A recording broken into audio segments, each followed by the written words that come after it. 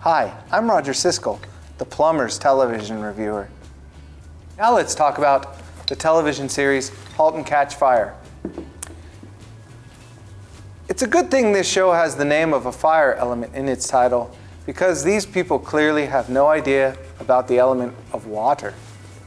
In viewing the episode Giant from season 1, I was disappointed to find blatant factual inaccuracies and character issues.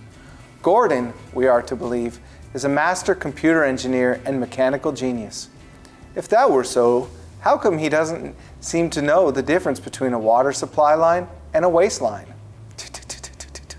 Once again, we have a protagonist that has to deal with the dreaded leaky faucet.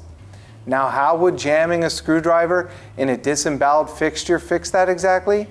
And it's a J-bend. Why would you have to completely disassemble the J-bend and waste line to fix such a minor issue that a new washer would fix? Rather than fix a leaky faucet, the brains behind this show prove they are the real drips. Halt and catch fire? More like halt and watch something else. For completely obfuscating the true methods used for fixing a leaky faucet, this show won't be receiving my Golden Pipe Wrench Award. Halt and catch fire, you get a big or flush.